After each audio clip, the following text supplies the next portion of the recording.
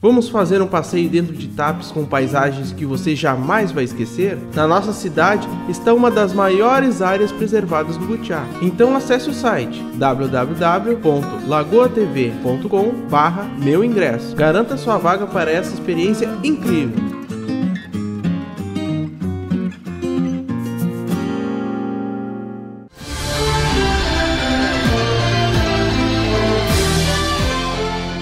Uma motocicleta de leilão com placas adulteradas foi localizada pela Polícia Civil na tarde da terça-feira, 18 de setembro.